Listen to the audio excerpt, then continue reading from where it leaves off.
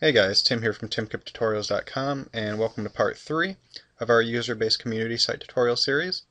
Um, in part 2 we have designed our uh, register or registration form and uh, we created our parse registration script which will allow us to insert users in the database uh, also checking the email and username to make sure they do not exist. Um, so now we need to create the jQuery file uh, that will link this form to our parsing script because we're going to do everything behind the scenes without changing pages so it looks uh, a little better. And I think it's pretty cool.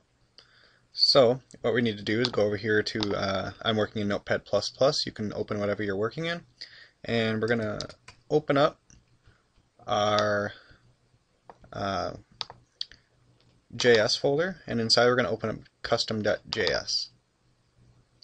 Inside of there I have some code that we're going to paste in, because I'm not going to type it all for you or else you got bored and you got stuff to do. So I'll go ahead and explain this for you. Basically what we're doing is we're opening the document.ready function, so pretty much when the document is ready, it's going to uh, load any code that's inside of here. Uh, first thing we're doing is for the ID of reg submit, which is over here in the registration.php, uh, right here, which is our button for registering your account. We're going to be adding a click function to it, or a click event. So anytime that button's clicked, all of this code is going to uh, execute.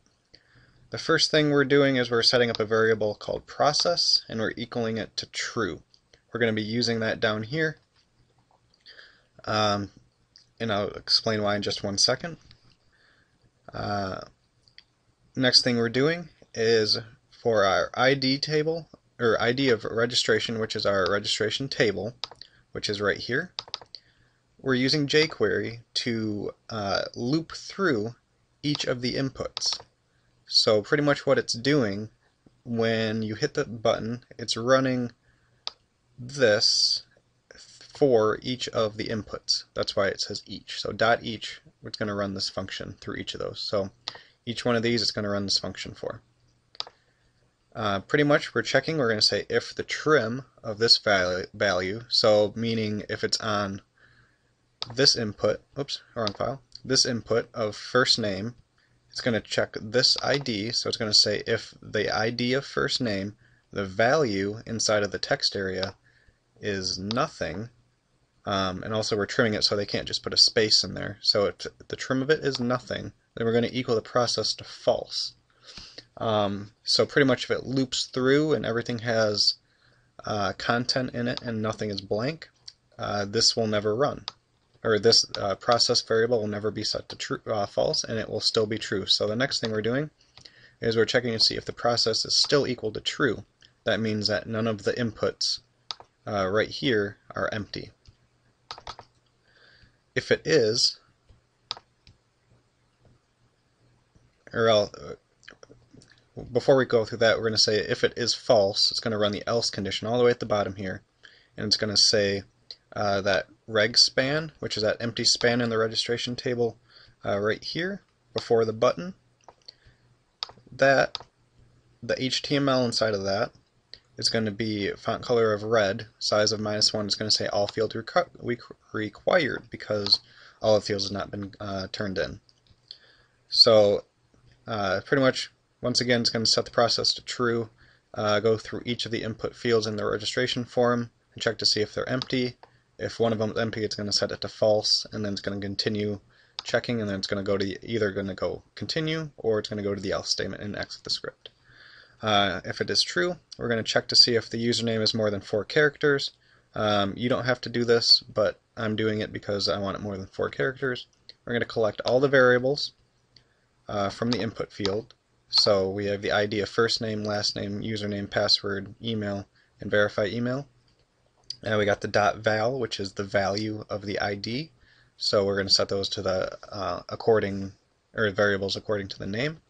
And we're going to say if username dot length, which is uh, username, the value of username is right here.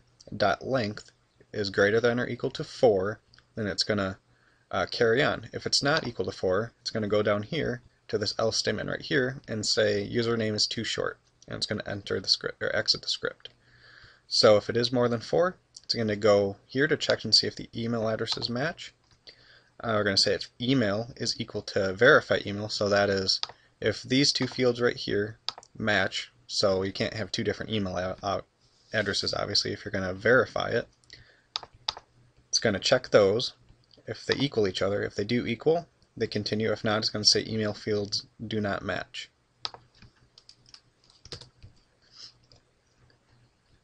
And if they do match, we're going to check to see if the username is taken. Now this is where our parse registration.php script comes into place. Basically the first thing I'm doing is setting that uh, reg span, which is the span next to the button. I have a, a loading GIF that spins around to say that's processing so people know something's happening. You can just change this to whatever you want. You can just say loading or something like that. But what I have done is in my images folder I all I did was I pasted in this loading GIF and it's a little green and white circle that spins around and stuff like that you'll see but for all the ones that say the image source there's a couple of them down here. There's some down here. Maybe not. I guess there's only one spot for it. But um, you can just put loading or something like that. Um, the next line is post. Uh, so dollar sign period post. This is the jQuery post, post method.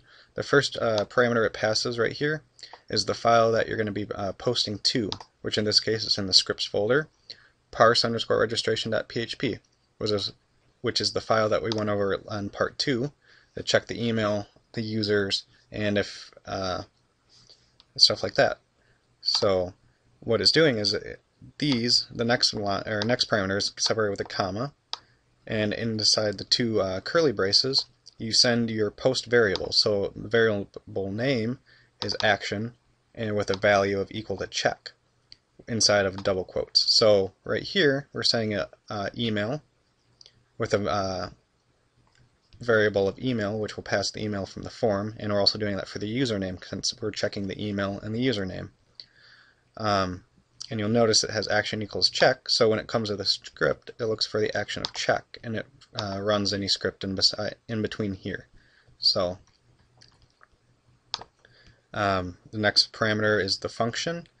Uh, check data so pretty much anything that's being returned from uh, parse registration will be handled inside of this variable called check underscore data. And this is where those numbers come into play. Uh, in the parse registration script, it says echo 3, echo 1, echo 2, echo 0, stuff like that. Uh, whenever you're echoing back out, that's this is what is being stored in that check data variable. So we're saying if it's 0, everything is fine and ready to use, uh, or else going down here, say else if check data is equal to 1, that means the email uh, already exists, which is right here, it's echoing 1. We're going to say, with that reg span, we're going to say email already has been used. And if it equals 2, which means username already exists, we're going to say username is taken. Uh, same thing, check data is 3. Uh, email already, or username already exists. That's a bad comment. We're just going to say invalid email. And we're going to say invalid e or email is invalid. Or, and then I just put else so if it's not catching 1, 2, 3 or 0 for debugging purposes I just put an alert of, of whatever is being sent back from our form. So that way if we have an error in our parse registration script uh, it will be alerted in a dialog box here. So you sort of know what's going on or else you're not going to know. Um, so back up here to where it says if it's 0 which means that the check has gone through all of these checks in the parse registration script and uh, email doesn't exist and the username doesn't exist, it's going to echo zero, which means it can continue the registration. Um, so once again, we're going through the registration inputs, and this time we're separating it with a comma and we're collecting the registration button. So, oops, sorry about that. It's pretty much collecting all these fields and the button and it's uh, setting the ID and we're setting an attribute of disable so pretty much disabling all of the input field and the button so you can't uh, change the settings and then it continues on and uses another post to the parse registration script again. This time we're passing the action of register. So that means it will execute everything in this register uh, section right here and register the user. And we're passing first name, last name. Uh, and let me just point out the first name, or the first thing here is the posted variable name separated by a, a colon. And then if you had, since this is stored in a variable, if you just wanted to manually put in a name like Tim, it has to be inside double quotes. Unless it's a variable, then you want it uh, in double quotes. So last name, email, username, password. And we're storing all of the return data in reg underscore data. So we're saying if reg data equals 1, which means the query uh, has been performed successfully and the mail has been sent out, we're going to empty out the span, which either has the loading graphic or an error message, and we're going to fade in that reg underscore success dialog, which in our registration.php, the reg underscore success is congratulations, your account's been activated or registered. And, or else, if it equals zero, it's going to fade in the um, failed one. So that's pretty much the custom underscore JS script we have right now um, for our reg submit click function. So we'll go ahead and test it out. We're going to go ahead and refresh the page. We're going to hit register account. It says all fields are required. And we're just going to actually give me one second. I'm going to upload this onto a live internet server so you can I can show you how the email works. Um, I'm going to modify my email uh, settings in my parse registration script. I'm going to actually use my email address right here so you can uh, see it actually in action. So I'm not going to show you what my email address is, but I'm going to go ahead and test it out and I'll be back right when it's online. Alright, I have everything uploaded onto my uh, test site on the live server. And uh, this is the next page. To go to the register page, hit register account, all fields are required. Go ahead and enter in uh, my uh, stuff. We're just going to use, I'll just put my email address in for now, which uh, username we'll just put Tim, Kip, password is 123. Actually, we're going to take this out and we'll put a different random thing in there. It's going to say email fields do not match. We're going to change it back to there and I'm going to hit register. The little loading symbol comes up and you can see congratulations your account has been successfully registered and you must activate your account to log in.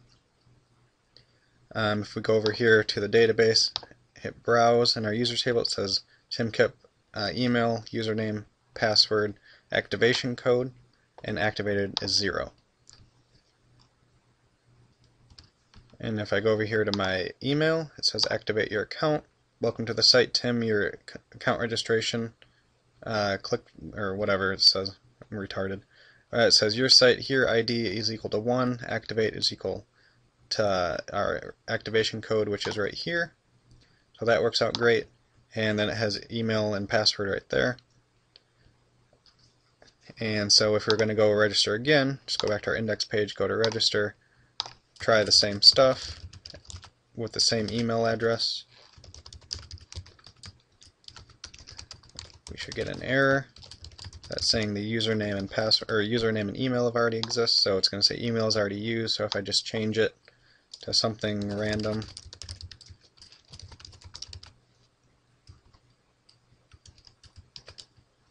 and it says username is taken. So if I were to change it again it says username taken. I'm just going to put in a new one. Just say timkip01. Hit register. Congratulations. If we go back to the table and hit browse, you can see it's entered in again. So that'll do it for part two. Or I'm sorry, part three. Part two and three were the register uh, account form. Um, the parse registration script and the jQuery that handles the registration. So I hope you enjoyed these two tutorials. Um, links will be in the description um, for part 3, 2, and 1. And part 4 will be in the link as well whenever I get it posted. So hope to see you guys in part 4.